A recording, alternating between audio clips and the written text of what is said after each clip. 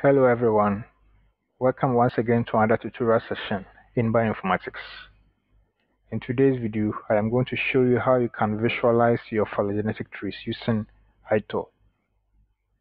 ITOL is a web tool that allows you to manage and annotate your phylogenetic trees and it also gives you the ability to export those trees as images and you can save them in different formats.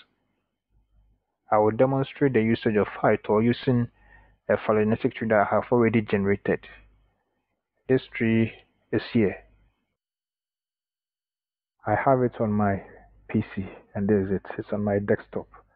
I am going to leave the download link so that you can also download this tree and then use it. The tree was generated using RAxML and there's a separate video tutorial that shows you how this very tree was generated. So if you're interested, the link is in the description box. Now let's get back to the ITOL interface and continue from there. On the ITOL page, the first thing you have to do is to upload the tree. And to do that, we come here. Let me zoom in for you. You click on this upload a tree button here. Click on it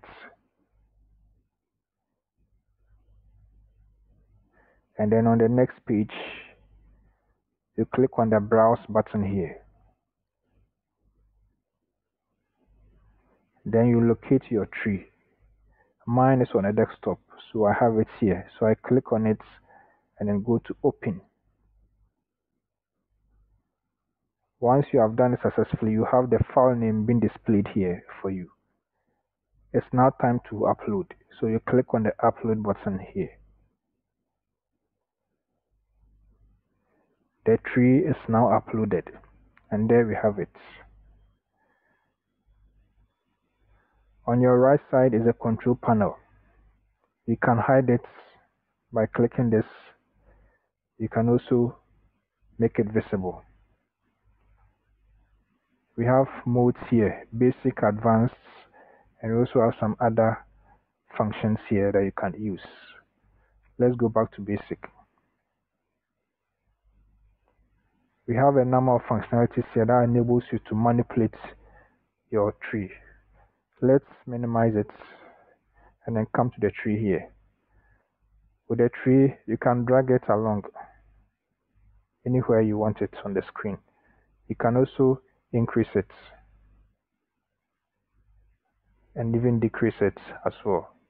So notice the manipulation that is being done. So it's very interactive. Now let's drag it here.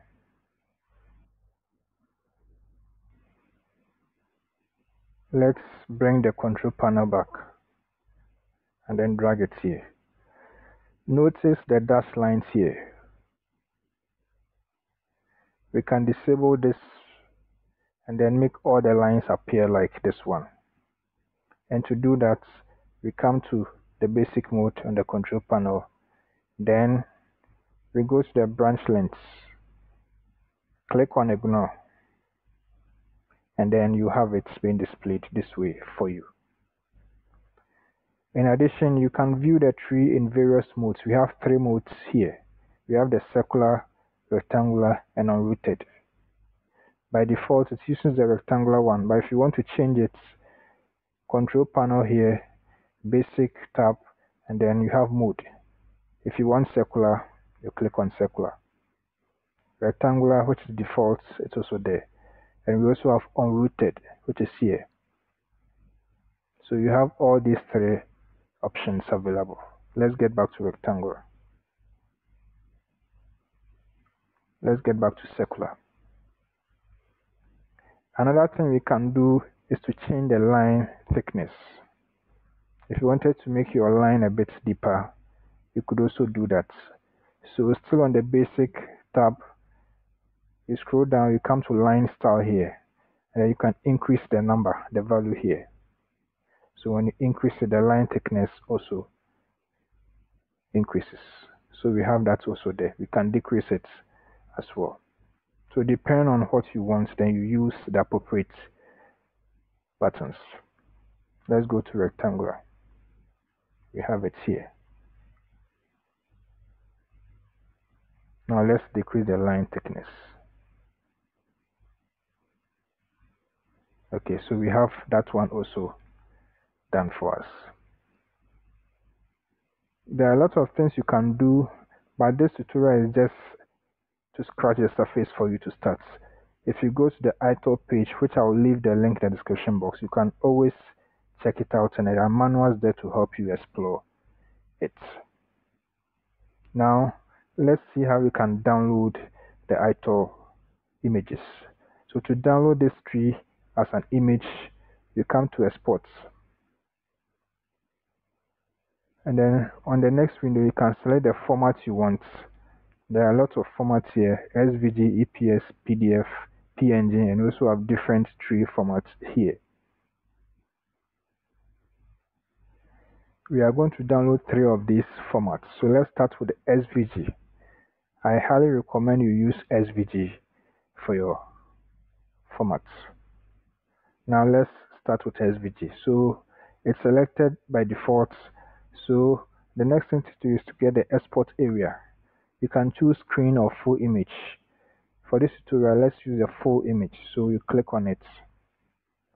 Once you are done, you click on the exports. That's the green button here. Click on it. And then you'll be asked to save it. So I'll save it. I'll save it on my desktop. It comes with a name. So you can change the name as you want. But I'll leave it with the default name. So I'll save it. Now let's save the PDF format as well. So you click on the format here, select PDF,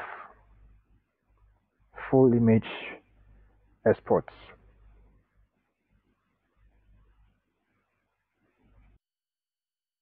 Then you save the file. I'll save it on my desktop as well. Now it's done let's save the png format as well here full image exports then we save it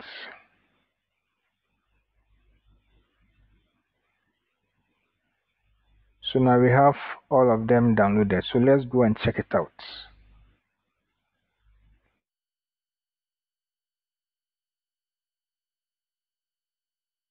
So these are the trees here. Okay these are the images.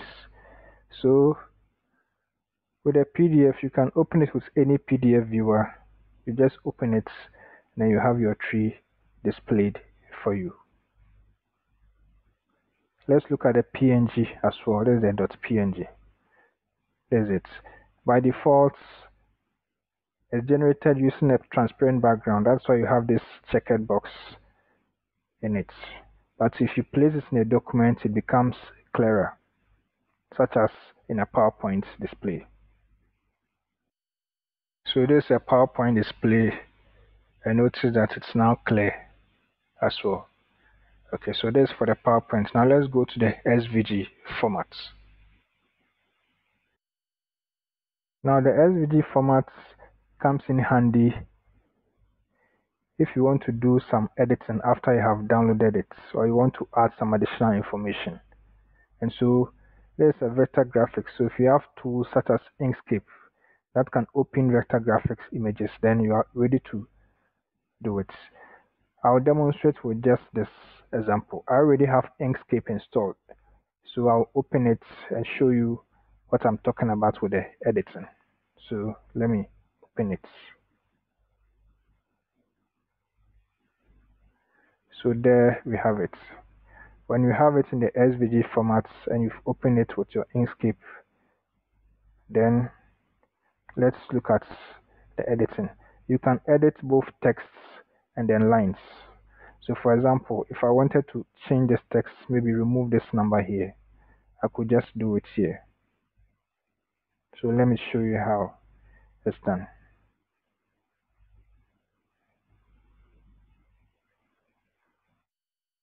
So there you have it. And so you can now save this as a new image. Now if you wanted to change or highlight a color such as this one maybe this was of interest and you wanted to change it, you can also change the color here.